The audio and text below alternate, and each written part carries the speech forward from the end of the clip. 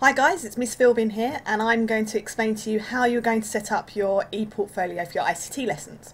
So the first thing you need to do is make sure you are in Google Chrome. You must open up Google Chrome, this will not work in Internet Explorer. So you'll find it in Start All Programs in the long list, you'll find the words Google Chrome and you open it up and you should have a window that looks kind of similar to this. Your next step is to go to ICT with Miss P. So it's ICT with Miss P.co.uk. And then if you scroll down, there is a red box that says Robert Clack Apps, and you're going to click on that. Now we've got two different types of options here. We've got Google Documents that some of you um, have been using before. If you're in year 7 then this may be new to you. And we also have Google Sites. So we're going to use Robert Clack Sites, Google Sites today. So you're going to click on the green button and then you're going to log in using your um, username and password. If you've forgotten this, then you will need to speak to your teacher. So I'm just going to log in here as um, Luke.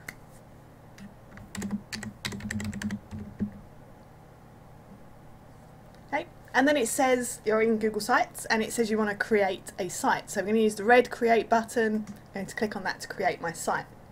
The next thing is you're going to click on browse the gallery for more and you'll see in here it says Robert Clack ePortfolio and you're going to click on that. Okay, and then you can scroll down and hit the blue select button. Right, you're going to need to name your site, so you need to give it your school username. Okay, so if, as the account I'm using at the moment, if my name's Luke Skywalker, then I'm going to use my Luke. Right, the first four letters of your first name and the last four letters of your surname, and it will give you the name of the site.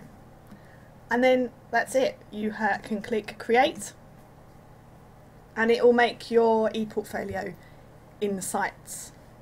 And it takes a little while, so to have to be patient.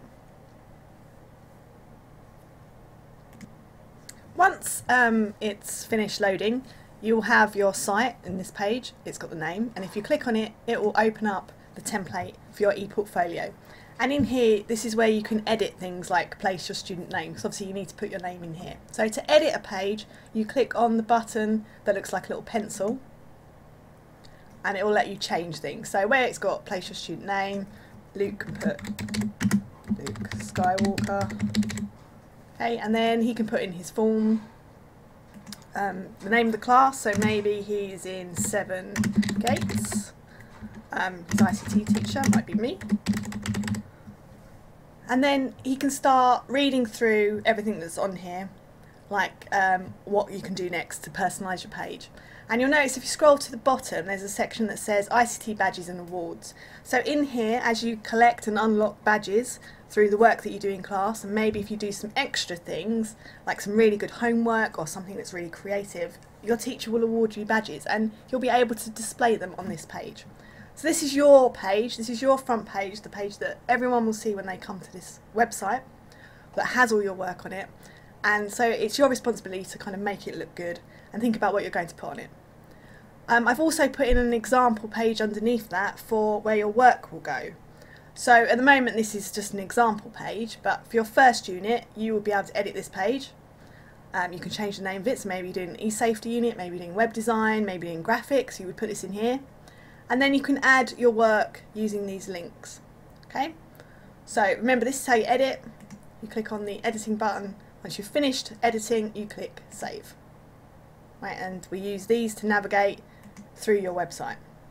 On this left hand side I've put some links to your school email, to the Robert Clack VLE, um, to ICT with Miss P and also there's a link to a website that will give you some more information on how you can use Google Sites and what you can do. So if you want to work on this outside of school, maybe there's a badge you want to unlock, then um, that's how you would go about doing it. Good luck!